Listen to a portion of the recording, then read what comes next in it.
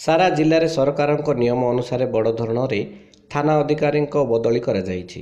ଏହି ପରିପ୍ରେକ୍ଷୀରେ ବାଲେଶ୍ୱର ଜିଲ୍ଲା ସିମୁଳିଆରେ ସଞ୍ଜୟ କୁମାର ପରିଡ଼ାଙ୍କୁ ବାଲେଶ୍ୱର ଜିଲ୍ଲା ଖଣ୍ଟପଡ଼ା ଥାନାକୁ ବଦଳି କରାଯାଇଥିବା ବେଳେ ସିମୁଳିଆକୁ ନୂତନ ଥାନା ଅଧିକାରୀ ଭାବେ ଆଜି ସିମୁଳିଆରେ ପରଶୁରାମ ସାହୁ ଯୋଗଦାନ କରି ବକ୍ତବ୍ୟ ରଖିଥିଲେ।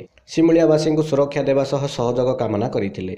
ସିମୁଳିଆବାସୀଙ୍କ ପାଇଁ ସୁରକ୍ଷା କବଚ ହେବେ ବୋଲି ଆଶା କରାଯାଇଛି। ନୂତନ ଥାନା ଅଧିକାରୀ ଭାବେ ପରଶୁରାମ ସାହୁ ଯୋଗଦାନ କରି ଅଧିକରୁ ଅଧିକ ସୁରକ୍ଷା ଓ ଶାନ୍ତି ଶୃଙ୍ଖଳା ରକ୍ଷା କରିବା ଓ ସୁଚାରୁ ରୂପେ ସିମୁଳିଆ ଅଞ୍ଚଳବାସୀଙ୍କୁ ଦାୟିତ୍ୱ ସହ ତୁଲାଇବେ ବୋଲି ଆଶା କରାଯାଉଛି।